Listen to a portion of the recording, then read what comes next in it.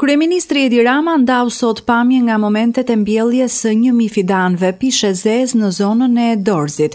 Mbjellja e një mijë fidanëve u krye nga stafi i zonave të mbrojtura të qarkut Elbasan, bashkë me nxënësit e shkollës Shefqet Dosku.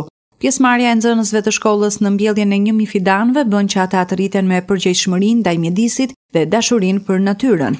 Dhjetori është muaji i pyllëzimit dhe institucionet po mbjellin fidanë për të krijuar mundësinë e rigjenerimit të zonave pyjore, ndërsa pyjet në vetvete janë pjesa kryesore e ekosistemit që mbron tokën nga erozioni dhe pastron ajrin.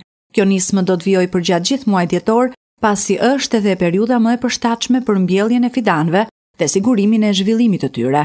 Më herët edhe në Elbasan janë zhvilluar dhe do të vijojë aksioni i mbjelljes së fidanëve të rinj nën kujdesin e veçantë të kreut të Bashkisë së Elbasanit, i cili gjelbërimin dhe shtimin e pemëve të reja i ka një ndër prioritetet e tij.